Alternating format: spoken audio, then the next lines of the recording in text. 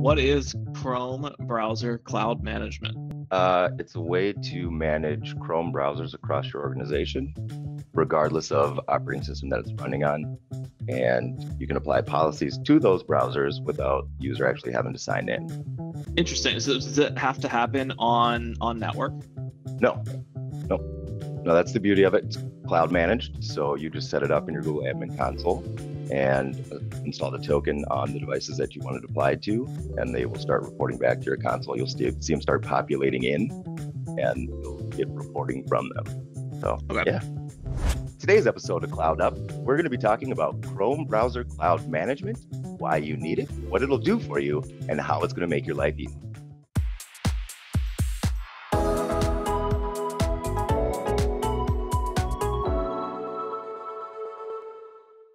Obviously we're not in a fancy production studio like we were last time because we're all uh, suffering through quarantine together. So if my right. workforce is uh, remote as most people are today and will be for most likely the foreseeable future how am i going to manage these devices? Or how am i going to manage the this browsers on these devices if they're not on network?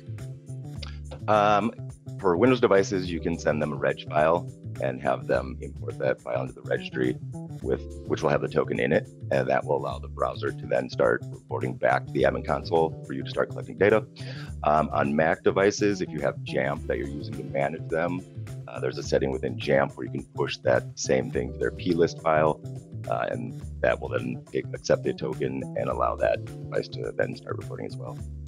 Cool. So so what you're saying is, is i if i uh, my workforce is remote and if I've got a lot of uh, Windows devices, I can still figure out a way to manage that browser, even though they've been off network for a long time. Absolutely. Cool. And then also, if I if you're in a predominantly Mac environment, it's even easier uh, to get this browser management rolled out. Yeah, because you can just push it directly through Jamf. I, I don't know many Windows or I'm sorry, many Mac shops that don't use Jamf to manage their endpoints. So yeah, yeah it's, re- it's really easy within Jamf. Jamf seems to be the uh, the industry standard now. Um, right.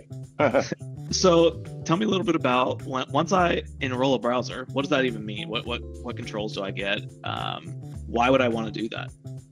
Uh, once you enroll the browser, you'll start getting reporting information back from that browser, whether that user signs in or not. Um, it'll tell you things like how many profiles that user has set up within their browser, what extensions, apps that they have installed, um, and then it'll give you limited information about the machine, like CPU, memory, um, little details like that. Uh, the greatest thing about it is it allows you to see all applications and extensions that are installed within your organization.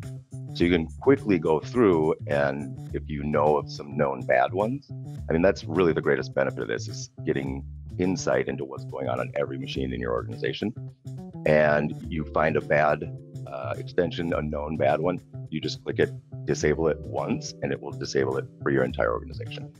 So I don't need to go and check through each profile to see what Sally's got, what Bob's got.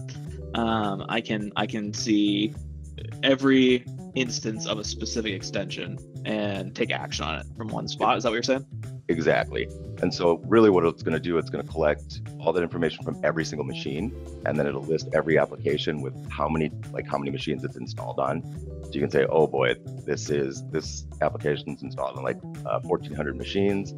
Maybe we should just automatically push these out to our devices as uh, admin policy, as opposed to making these people install them themselves. And then the reversal of that is, all right, well, we don't want people to have coupon code, whatever deals, which are always you know, synonymous with malware.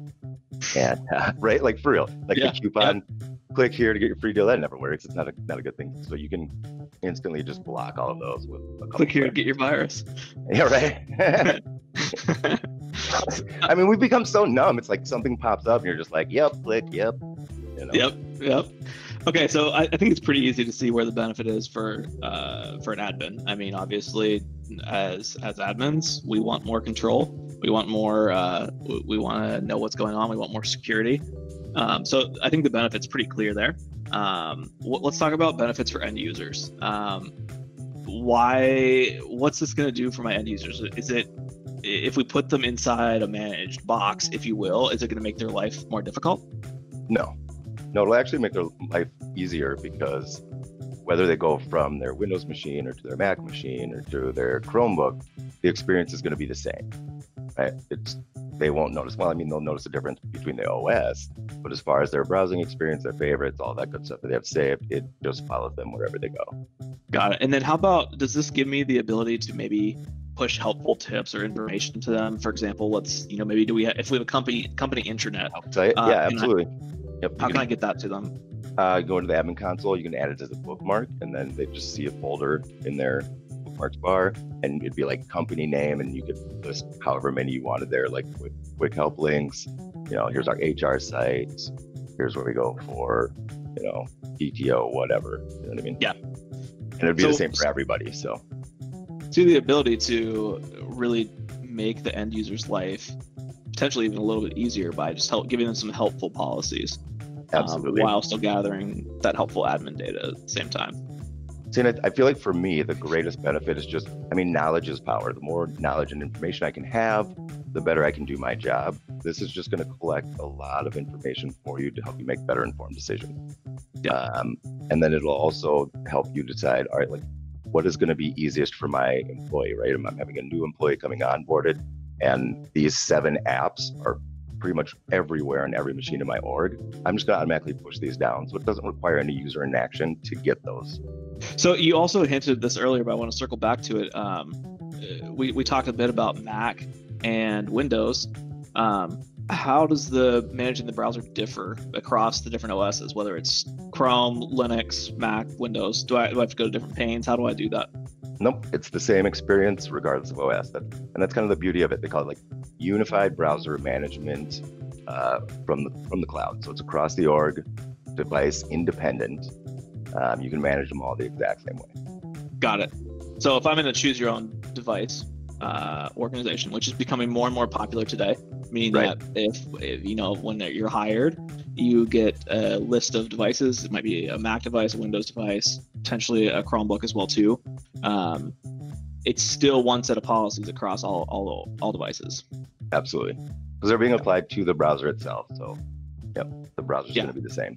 Awesome. So I, I think we, we you hit on um, three point or three points so far. Number one, why it's good for for admins. Number two, why it's good for end users, uh, and then how it's going to make everyone's life a little easier. I guess the last point I got to ask is how much does it cost? I mean, it's got to be expensive, right? See, and that's that's the part that usually gets people, you know, because uh, you get a lot of great services, so they figure it's going to be pretty expensive, but it's uh, free 99. It literally doesn't cost a cent. It's available for you to set up and configure right now, uh, free of charge. And if you need help configuring it, contact Agosto, and we can definitely either walk you through it or simply do it for you.